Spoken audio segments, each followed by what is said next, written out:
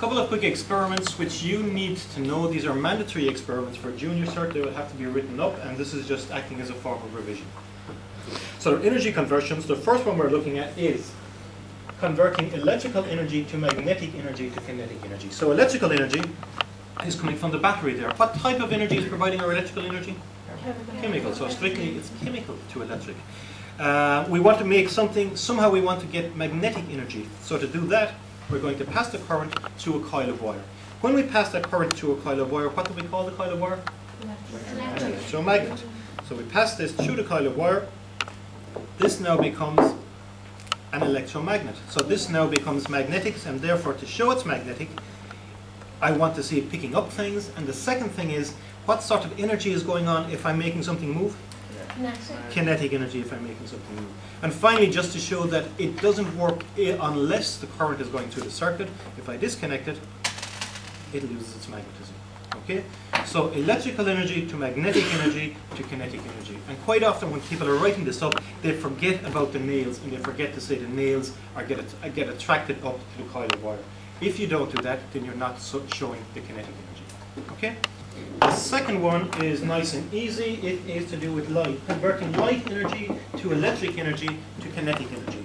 So we start off with my light energy, light bulb. So I'm getting light energy coming out of that. Now I want to convert that to electrical energy. And using electrical energy, I have the solar panels. And the solar panels take in light energy and convert it to electrical energy. Okay? So I've got light. What's going from my solar panels to the fan is now going to be what? What type of energy is going from this? Going from the solar panels to electric energy. Okay, so it's light in the, coming into the solar panels. The solar panels convert the light energy to electric energy, and then hopefully, if I put it up really close and give it a kickstart, we get our kinetic energy. Okay. Third one is converting chemical energy to electric energy to heat energy. So chemical energy is going to come from my battery to electric energy. If I have a full circuit, if I connect both of these up, I will then have electrical spark, and what will happen is I get a lot of electric energy. And that electric energy will actually heat up the wires inside, and it will be heat energy. But to kind of measure the heat, we want to have some way of putting a number on how much it heats up. So how do we measure an increase in temperature?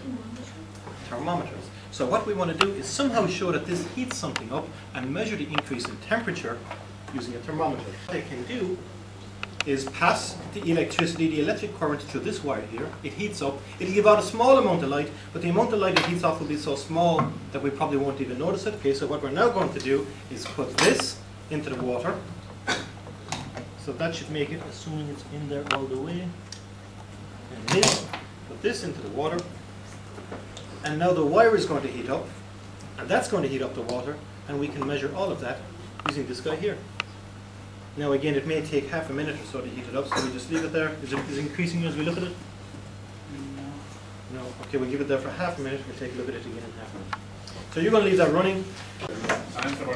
Okay.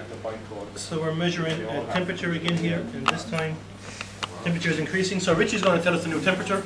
It's just Can you focus on that, Alex? Yep. Okay, the temperature is 40 degrees, and it's still going up. So what we've got is an increase. What are our different energy conversions? What was our first energy? Chemical Chemical to what? Electrical. To, to heat energy. And it's 45 degrees. So we've noticed a heat energy difference there. That will do for that experiment. Okay, you remember those three demonstrations? Perfect. Thank you very much.